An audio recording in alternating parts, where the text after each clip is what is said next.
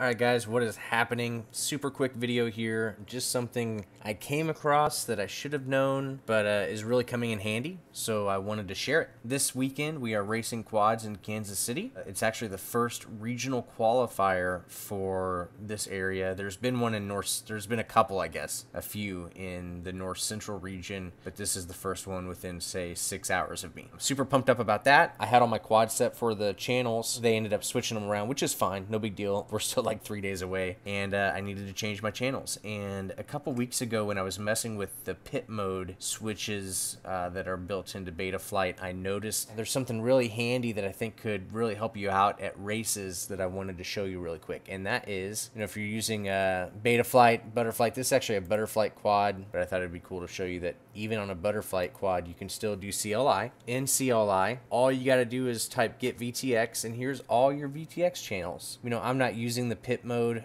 switch the pit mode frequency, but there it is set to 30, 5300. So that's kind of interesting to know. That's something you could type set VTX pit mode, you know, underscore frequency and then put that to whatever you wanted it to be. You could manually set VTX frequency to a specific frequency or also a channel. And this comes in super handy. So if you're at a race, you're not wanting to, you know, blast someone out that's currently flying in a heat, but you need to change your VTX channel and you don't want to have to do it, you know, in the goggles and the OSD, you know, you just kind of want to be ready or whatever. Or let's say you've installed a new VTX and you want to make sure your settings are all right before you get to the line. This is the way you do it. And then really what I've used this for the most is this type of situation where I need to change over four or five quads to a given frequency and I don't want to get out my goggles and I don't want to get out my radio and all that. So this is actually a super handy way, probably the fastest way in my opinion to change your VTX channels. So the command was get VTX and this was all the information it gave you and then you can type set VTX underscore channel equals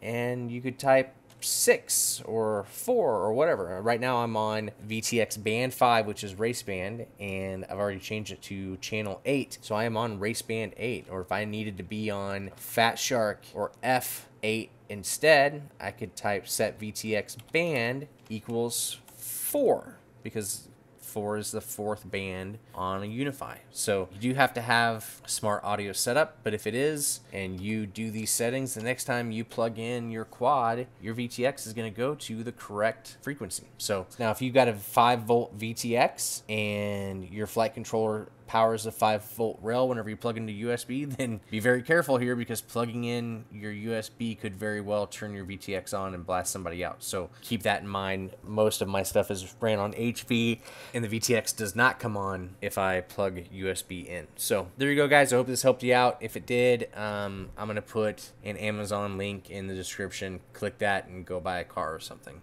It'll help me out. Take it easy.